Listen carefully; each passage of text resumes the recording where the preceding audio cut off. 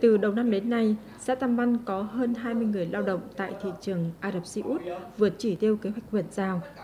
Ngày 21 tháng 5, xã phối hợp với công ty trách nhiệm hữu hạn đầu tư phát triển Tadashi chi nhánh Lang Chánh tổ chức hội thảo tư vấn du học xuất khẩu lao động làm việc tại Hàn Quốc, Nhật Bản.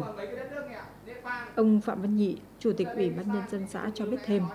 để tạo điều kiện cho người lao động trên địa bàn nắm rõ được mục đích, ý nghĩa cũng như thuận lợi khi tham gia xuất khẩu lao động tại Nhật Bản, Hàn Quốc do công ty trách nhiệm hữu hạn đầu tư phát triển Tadashi chi nhánh Lang Chánh tham vấn,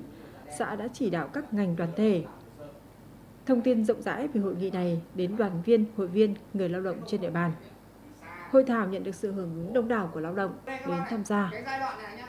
Thông qua hội nghị này, xã Tam Văn thông tin tuyên truyền đến người lao động tại địa phương để nắm được những thông tin việc làm tại thị trường lao động nước ngoài, giúp người lao động có nhu cầu, có thêm thông tin cần thiết để chọn nghề học, việc làm phù hợp và hiểu biết đúng đắn trước khi quyết định xuất khẩu lao động.